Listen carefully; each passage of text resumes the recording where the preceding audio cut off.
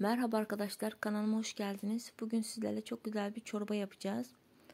Bunun için malzemelerim bir bardak tarhanam var. İçine bir bardakta su koyup güzelce karıştırıyorum. Bu biraz farklı bir tarif olacak arkadaşlar. Tam böyle hasta çorbası. Özellikle de bu pandemide çok güzel içilebilecek bir çorba. Tencereme yarım çay bardağından biraz daha az zeytinyağımı, bir adet soğanımı ve bir diş sarımsağımı aldım. Güzelce kavuruyorum. Bol sarımsaklı bir çorba olacak bu arkadaşlar.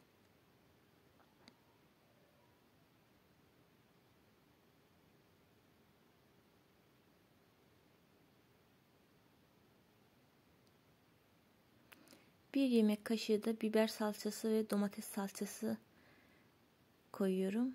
İkisinin toplamı bir kaşık. İçine 1 litre suyumu ekledim. 2 bardak da et suyum var. Onu ekliyorum.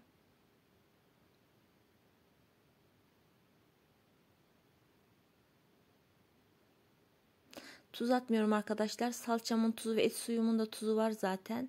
Ve tarhanamı ekledim.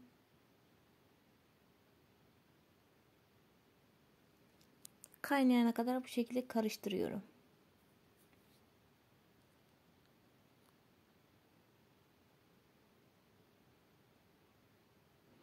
Gördüğünüz gibi altını kapatıyorum ve içine bolca nane ve iki dişte sarımsağım var. Onları ekledim. Altını kapattım. Arkadaşlar benim bu tarhana yaptığım zaman tarhananın içinde çok değişik, çok çeşitli bitki ve sebzeler var. Onun için baya bir lezzetli oluyor karabiberli, pul biberli, arzuya göre ne, ne isterseniz tatlandırabilirsiniz. İçene afiyet olsun. Beni izlediğiniz için çok teşekkür ederim. Kanalıma beğeni yapıp abone olmayı da unutmayın lütfen.